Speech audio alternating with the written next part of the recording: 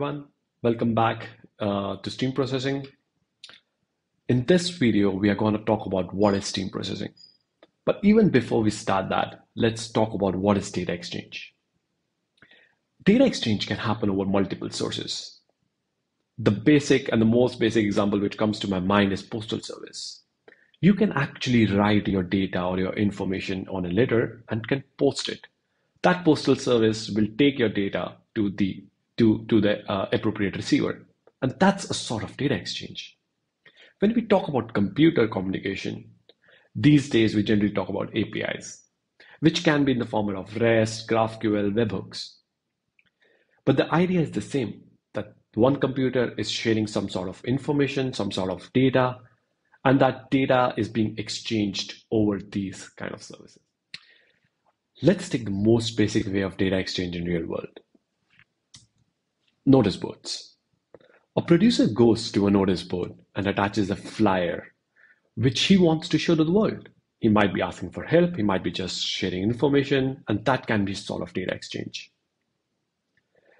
On the other side, there are consumers or users who are passing by that notice board and can read that information, react on it, or basically take any actions they feel necessary, or completely ignore the messages at all if it's not interested for them. Now let's take the same example and let's make it a bit more complicated.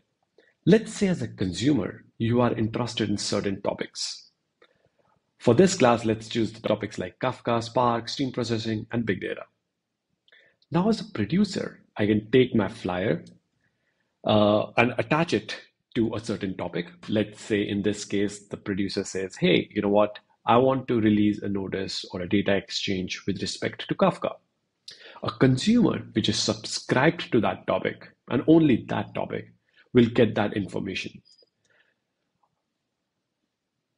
And this can go through a notice board, this can go through an email notification, but you generally get the idea that the data exchange can happen over these kind of communication channels also. So we just took the example of our notice board and make it a bit more complicated. And this is how, let's say, something like a medium uh, application works. Now let's talk about data exchange in stream processing.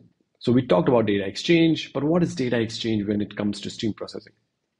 In our previous case, we have seen that the data is exchanged more in a batch mode, right? Either via email or which which can be delayed by a day or an hour, or if there was a flyer on the notice board, whenever the consumer passes that notice board, they will see it. In stream processing, what is happening is that this data is getting uh, getting exchanged in more real time. So in this example, this producer produces some data to the Kafka topic, and that Kafka topic get immediately uh, receives that message, and that message is immediately given to the consumer. We can have the same example of a Spark topic also. So you, so the producer in this case produces some message to a Spark topic, uh, and then consumers who are subscribed to that Spark topic get that information. But this happens in real time the data which is being exchanged between producers and consumers don't happen with a delay of hours or days, but it happens more in real time. But let's define real time. Real time does not mean that it immediately happens. It doesn't happen at the speed of light. What uh, by real time, what it means that there is a few seconds of delay, but it's way much better than what it was before.